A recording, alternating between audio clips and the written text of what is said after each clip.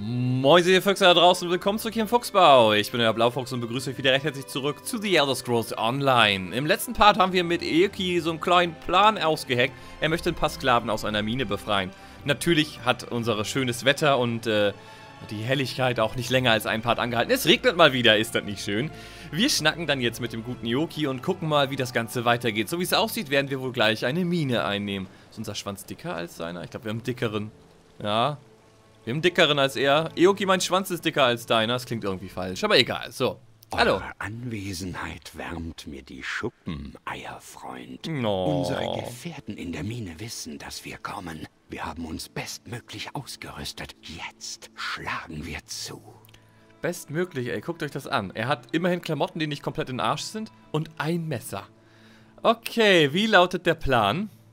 Zuerst müssen wir uns um die Wachen kümmern. Vor allem um die, die in der Nähe des Eingangs herumlungern. Wenn sie Alarm schlagen, kommt die Sklavenmeisterin über uns wie ein hungriger Hackflügel. Renissi findet, wir sollten sie nur außer Gefecht setzen. Asri schlägt vor, wir sollten keine Gnade zeigen. Okay. Erzählt mir mehr über Rinsis Plan, sie außer Gefecht zu setzen. Renissi ist in den Besitz einer Kiste mit Pulverbomben gelangt. Wenn man eine in die Nähe einer Wache wirft, sollte sie das Bewusstsein verlieren. Weniger Wachen zu töten, könnte den Zorn der Magister mildern und die Flucht erleichtern, aber wer weiß das schon genau. Wir sollen unsere Freunde befreien und auf den Wachhauptmann aufpassen. Und Aziri will sie einfach töten? Asri hat viele lange Wochen in der Trockenkiste unter Tel Arun verbracht. Einige seiner engsten Freunde sind hier in Wassamsi gestorben. Er sträubt die Schuppen vor lauter Rachegedanken. Ich kann es ihm nicht verübeln. Wir sollen die Wachen erschlagen, unsere Freunde befreien und auf den Wachhauptmann aufpassen. Oh, also im Hinblick auf das, was mit äh, Sonne im Schatten gegebenenfalls passiert, würde ich eher die nicht tödliche Variante vorziehen. Nehmen wir nochmal den Vorschlag. Renissi ist in den Besitz einer Kiste mit Pulverbomben. Das klingt eher einfach. Das werde ich mal versuchen. Gut. Ich werde euch folgen und dabei helfen, Sklaven in Richtung des Ausgangs zu lenken. Wenn alles läuft wie geplant, gehen wir alle gemeinsam hier raus. Eine Sache noch. Wir müssen vorsichtig sein, damit uns Sklavenmeisterin Arenim nicht bemerkt. Einer ruchloseren Magierin werdet ihr niemals gegenüberstehen. Okay, ich bin bereit. Betretet die Mine von Wasamsi. Oh, scheiße, Alter. Das wird... Im Schatten? Eoki, so wie wir auseinandergegangen sind, bitte, geh nicht. Ich muss. Wir beide teilen unser Herz, doch unsere Seelen zirpen unterschiedliche Lieder. Das kann nicht halten. Ehe du gehst, musst du sehen, wie deine Telvanni unseresgleichen behandeln. Schau dir an, wie sie leben, wie sie sterben. Na schön, das tue ich noch für dich, doch dann muss ich los. Ioki, seid vorsichtig. Wir halten die Augen nach Bewegungen aus Tel Arun offen. Oh je. Das kann nur nach hinten losgehen. Nachher sind alle tot, glaube ich. Ach du Scheiße. Gut, aber dann ist ja gut, dass wir nicht den Lethal Weg nehmen, sondern den braven sozusagen. Die Mine von Wasamsi. Die Geißel der Sklaverei stellt die entscheidende Sünde unseres Volkes dar. Wir haben unsere Häuser auf dem Rücken eines stolzen und geheimnisvollen Volkes errichtet, dessen Leben wir in hemmungsloser Unbekümmertheit zerstörten. Die letzten Worte von Nilvin Omaren. So, kümmert euch um die Wachen von Vasinsi. Okay, oh, warte.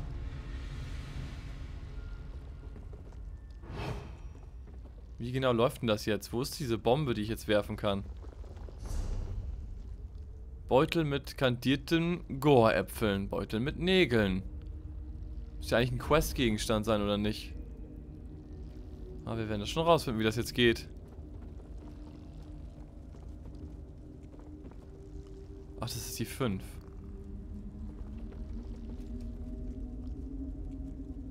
Ich werfe einfach mal die 5 dahin. Ich denke, die 5 wird das sein. Dieser Beutel.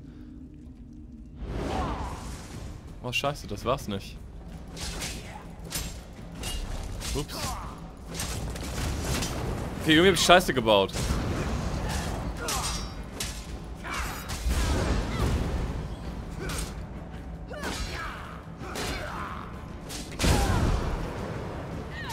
Kann auch meine ganzen Attacken nicht benutzen. Irgendwas ist merkwürdig. Scheiße, Mann. Okay, das ist irgendwie komplett schief komplett schief gegangen, Mann. Scheiße. Okay. Ich würde sagen, wir gehen nochmal an den Wegschrein zurück und versuchen es nochmal. Oder hier. Ich habe ja noch einen gefüllten. Was war das? Okay. Ich wollte doch eigentlich diese Bomben werfen. Wie geht denn das jetzt? Journal. Kümmert euch um die Wachen von Wasimsi. Das ist mein Plan. Aber wie? Wo sind diese Bomben, die ich werfen kann? Also das gerade eben war definitiv keine Bombe.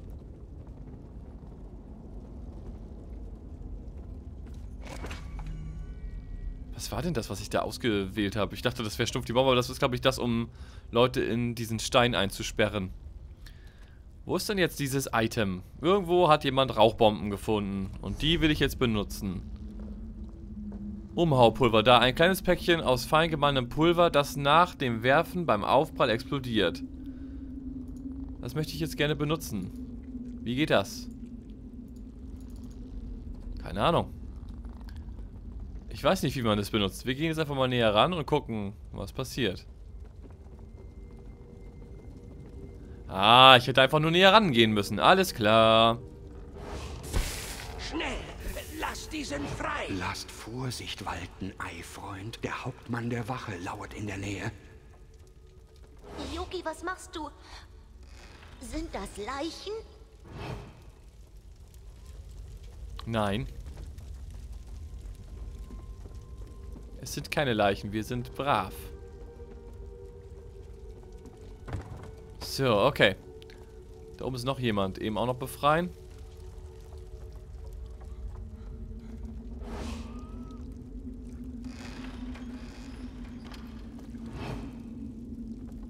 Besiegt den Hauptmann der Wache. Oh, oh. Komm, sieh dir an, wie deine Telvanni-Meister ihre Sklaven behandeln. Was? Yogi, das ist Wahnsinn. Deinetwegen wird man mich umbringen. Ja. Eindringlinge! Ich hole die Sklavenmeisterin! Eigentlich habe ich keinen Grund zur Beschwerde. Sind mich nicht Oh je, ich habe ein bisschen Angst. Auf geht's. Zum Glück haben wir dieses Pulver, damit können wir gut arbeiten. So, Moment. Ein Sklavenaufstand! Zu den Waffen! Macht sie nieder! Los, meine Freunde, macht euch auf die Flucht! Okay, hier geht's jetzt nicht mehr ohne Kämpfen. Ich will gehen. Oh Gott, die Arme. Ah, du kannst halt nicht ewig von der Wahrheit davonlaufen. Das ist halt nun mal so.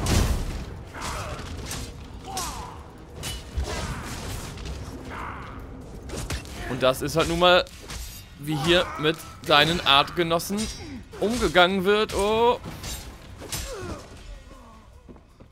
Das war's jetzt. Entkommt aus der Mine. Warte, ich muss mal gucken, was hier so los ist. Okay. Kann ich noch Zeugs mitnehmen, wenn ich schon mal dabei bin? Das ist ja irgendwie alles nicht so ganz gut gelaufen. Wir haben immerhin eigentlich bis auf den Wachmann, den wir jetzt plötzlich doch umbringen mussten. Da war eine nicht äh, tödliche Möglichkeit gar nicht drin. Es ist ja an sich ganz gut gelaufen. So, was hier los? Habt keine Angst. Ich sorge dafür, dass ihr das Boot sicher erreicht. Boot? Ich steige in kein Boot. Mein Herz, du kommst mit uns. Irgendwann wirst du mir dafür danken. Wie könnt ihr nur? Hilfe! Ich werde entführt! Ich versuche, dich zu retten. Ja, ich glaube, Sonne im Schatten hat so komplett ihren Ursprung verloren. Das geht ja komplett nach hinten los. Oh. Helft Sonne im Schattensklaven, weiß dann ah einer zu besiegen. Halt! Dafür Na, werdet ihr ich bin eine magierin Sie wollten mich entführen. Oh, scheiße, Mann. Okay, mal sehen, ob wir das hinkriegen.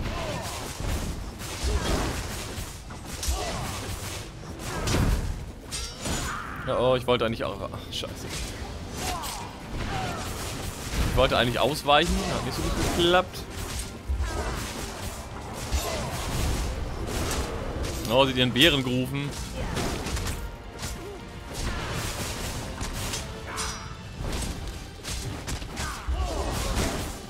Ich versuche mal auf den Bär zu kacken, um weiter sie anzugreifen. Weil der Bär verschwindet, wenn sie tot ist. Und sie hat, sie ist fast tot. Oh oh. There we go. Okay. Jetzt bin ich gespannt, ob sich das noch irgendwie normalisiert. Das ist ja so richtig wegeskaliert, Mann. Okay. Ich. Ich fasse es nicht, was sich da gerade abgespielt hat. Dieser dreckige Elf wollte mich töten.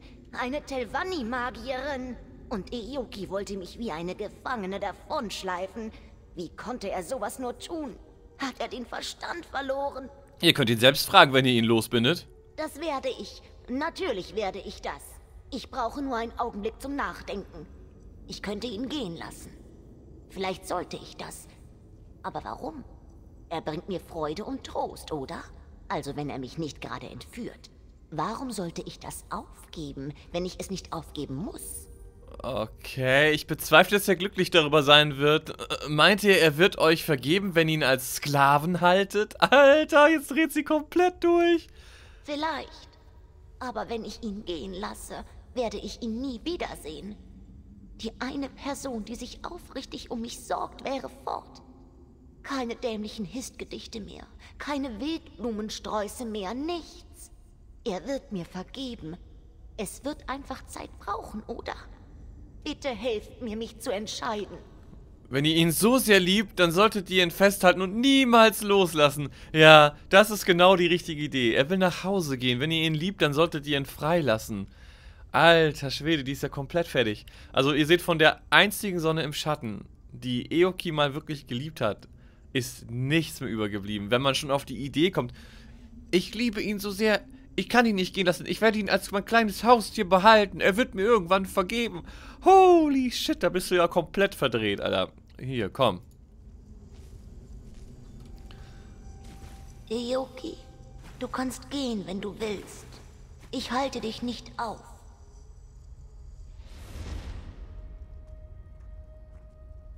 Das Haus wird dich verraten, Sonne im Schatten. An jenem Tag hoffe ich, dass du daran denkst, Ich was brauche wir hätten einen haben können.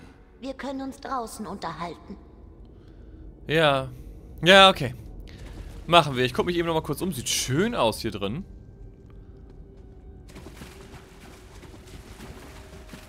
Hei, hei, hei, hei, hei. So, dann haben wir mal raus hier. Wer hat denn diese Tür gemacht?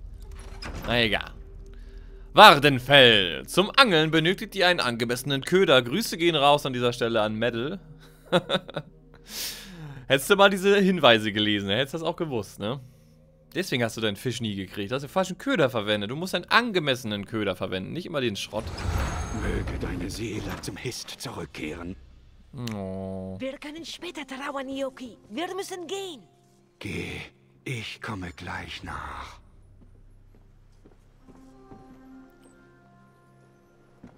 Okay. Kommt noch was zwischen euch beiden oder wie läuft die Kiste jetzt? Ich spreche jetzt erstmal mit Sonne im Schatten. Es fühlt sich an, als würde mir das Herz brechen. Wie konnte ich zulassen, dass er mich verlässt? Ich glaube, ihr habt das Richtige getan, Sonne im Schatten. Ich schätze schon, aber es bereitet mir keine Freude. Kein Wunder, dass die anderen Angehörigen meines Hauses so oft das Falsche tun. Danke für alles, was ihr getan habt, Sera. Ich werde eure Treue und eure Freundschaft niemals vergessen. Ihr haltet für den Abschluss der Tervanicus-Reihe in Wadenfell. Was ist das? Findet die folgende Aktion. Read. Okay, da hat jemand wieder mal Scheiße gebaut. okay, Quest abschließen. Ich sollte meine Lügen besser sortieren. Ich sehe eine lange und erschöpfende Audienz mit dem Rat vor mir. Mm, und was geschieht jetzt? Ich versuche, die Teile meines gebrochenen Herzens aufzulesen und meine Studien fortzusetzen. Es war die reinste Qual, Eyoki gehen zu lassen, aber ihr hattet recht. So ist es besser für uns beide. Ich habe viel Zeit darauf verwendet, seine Zuneigung zu gewinnen und ihm meine Treue zu beweisen. Jetzt kann ich mich richtig konzentrieren. Okay, worauf denn konzentrieren? Auf das Spiel, auf meine Rolle im Haus, auf meine arkanen Erkundungen, auf meine Zukunft als Magistra, auf all das. Sobald ich mein volles Potenzial erreicht habe, wende ich mich womöglich wieder an Eoki, um die Welt zu sehen, wisst ihr? Bis dahin lebe ich das Leben einer Telvanni. Wie geht es weiter, Sonne im Schatten? Ich sollte meine Lügen besser sortieren. Ich sehe eine Ja, lange und das erschöpfende wohl. Audienz mit dem Rat vor mir. Lebt wohl. Okay. 5000 Erfahrungspunkte. Sind wir jetzt äh, ein Level gestiegen? Nee, immer noch nicht. Joa, Wahnsinn, was ist das?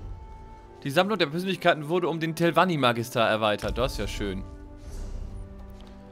So, wo ist Ioki hin? Ich hätte gerne nochmal mit Ioki geredet, aber Ioki ist weg. Kein Ioki mehr. Okay. Das war leider nicht mit einem Happy End versehen, aber war auch nicht zu erwarten irgendwie, oder? So, was haben wir denn noch alles offen? Wir haben auf jeden Fall diese komischen Steinquests, da habe ich jetzt nicht so Bock drauf. Äh, Journal. Wardenfell. Göttliche Suche untersucht Al-Adrun, Widrigkeiten der Ahnen, geht zum Velot Ahnengrab und jeden Preis und das alles. Dann machen wir jetzt erstmal untersucht Alt-Ruhm. Wir müssen mal ein bisschen der Hauptgeschichte wieder folgen. Achso, das wäre die hier, ne? Da sind wir ja auch ein bisschen weit hinterher. Auridon, die Unterschrockenen. Oh, so viele Quests, so viele Quests. Wardenfell, göttliche Suche, untersucht Aldrun. Das machen wir jetzt als nächstes. Wo ist das? Wo müssen wir hin? Dahin. Mal wieder ganz woanders hin. Wir gehen mal wieder zurück nach Balmora. Da waren wir schon ewig nicht mehr. Bevor wir nach Balmora gehen, aber erst kurz mal nach Vivek. Aber ich glaube, da... Wo, wie weit sind wir von dem Teleporter-Dings weg? Oh, doch ein ganzes Stück. Aber ich will nicht so viel Geld ausgeben. Lass mal eben zum Teleporter latschen. Da oben ist einer. Oh, der ist näher hier, glaube ich. Lasst uns mal eben schnell noch zum Teleporter latschen. Das ist billiger. Aktuelle Position Ziel setzen. Ups. So.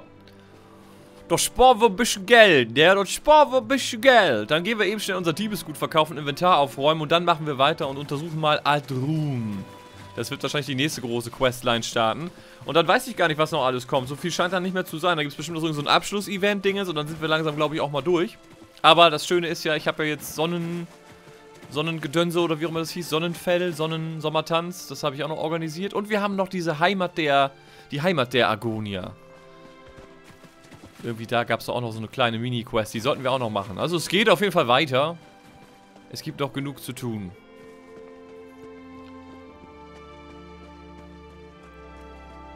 Aber vielleicht irre ich mich auch und das geht hier doch noch voll lange. Wer weiß. You never know.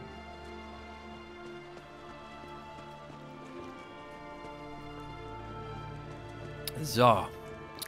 Mm, kalter Kaffee. Köstlich. Das stärkt mich auf das, was uns jetzt vor uns liegt an Abenteuern.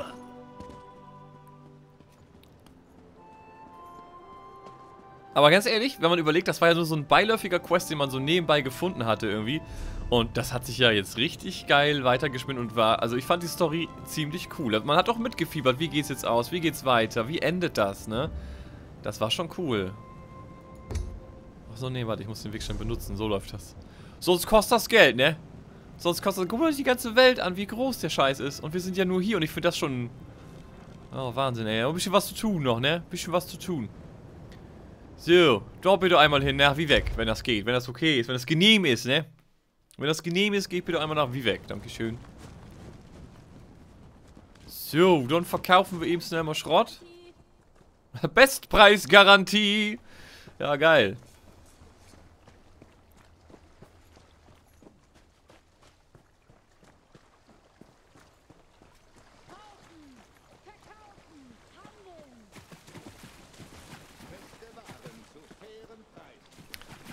Beste Ware zu fairen Preisen. So doch mal nix wie Rinder. Johann, lass mich eben noch in den Unterschlupf gehen. So viel Zeit muss ja wohl noch sein. Gibt's denn der hier, ne? Fängt der an hier rumzubiefen. Ach, Hähnchen. Wie lange begleitest du mich schon? So lange, so lange. So, ihr Lieben, ihr habt den Kran, äh, den Kran, ey. Ihr habt den Kran, äh, Krähen gehört, wisst ihr Bescheid. Wenn euch das Ganze, wir machen dann jetzt erstmal einen Break. Wenn euch das Ganze gefallen oder nicht gefallen hat, lasst eine Däumlein da. Kommentare und Feedback natürlich, wie man gerne unter Video posten. Und ansonsten sehen wir uns gleich im nächsten Part wieder. Bis dahin euch viel Spaß beim Zocken. Tschüss, euer Blaufuchs.